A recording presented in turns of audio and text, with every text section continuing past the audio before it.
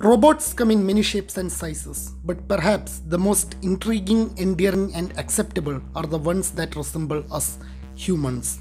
Humanoid robots are used for research and space exploration, personal assistance, caregiving, education, entertainment, search and rescue, manufacturing, maintenance, public relations, and healthcare. Before the coronavirus pandemic and the economic uncertainty, Stratistics Market Research Consulting expected that the global humanoid robot market would reach $13 billion by 2026. While future market behavior is now unclear, robot usage is still on the rise. If you are new to this page, please don't forget to subscribe. And let's explore the top 10 humanoids of 2020. You are watching Sapientia Island.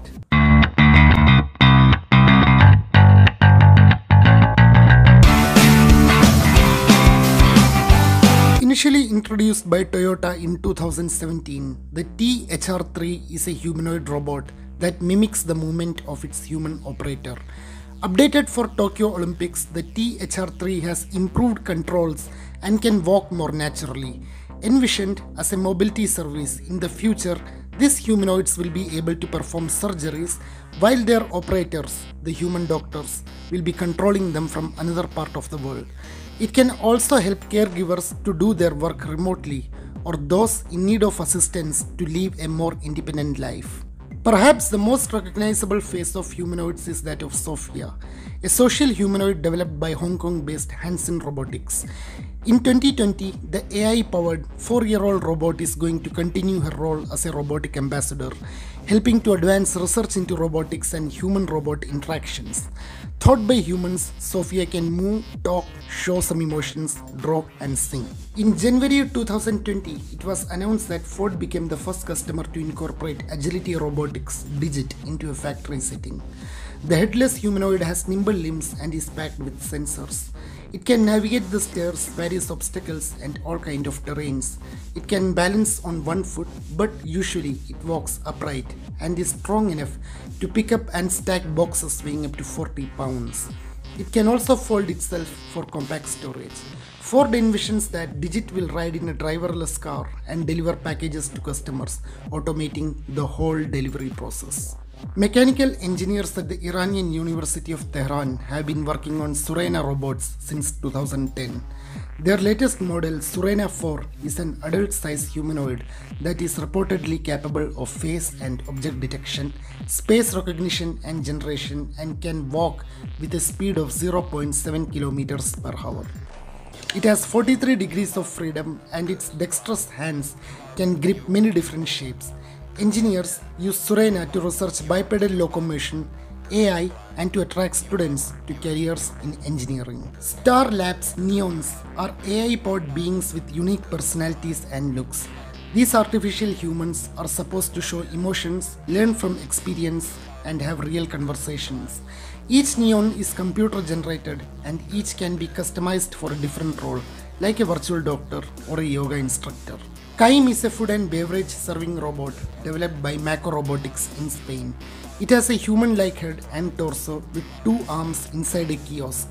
Tested at gas stations in Europe and in a Spanish brewery, Kime is known to be quite good at pouring beer and can serve up to 300 glasses per hour. The humanoid features 14 to 20 degrees of freedom, has smart sensors, and use machine learning to improve on its skills. Engineered Arts is a UK based company that produces entertainment humanoids.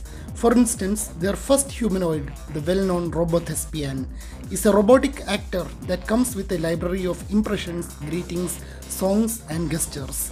The company is working on adding Robothespian the ability to walk on its own, but for now, the movement can be staged through a hidden system of tracks and dollies. Several countries have been working on humanoids for space exploration.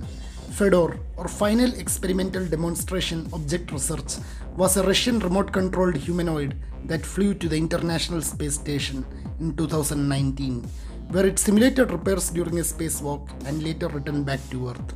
NASA's Johnson Space Center has worked on several humanoids, including Robonaut 2 and Valkyrie. SoftBank Robotics Pepper was designed to be a friendly emotions reading helper to work as a receptionist, in retail, and even as a nanny. Now Pepper comes with an educational integrated development environment called Tethys that was created to teach students how to code.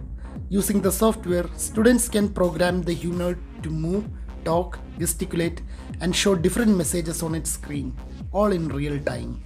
ARMAR from Germany's Karlsruhe Institute of Technology was developed to perform maintenance tasks alongside human workers in industrial settings. Walker by UBTech Robotics, on the other hand, is designed to collaborate with humans in their homes. With 7 degrees of freedom manipulations, the humanoid was developed to perform household tasks and smart home control. I hope you enjoyed this video. Please like, comment and subscribe and let me know what else you like to explore. Help me out to make it a more interactive experience.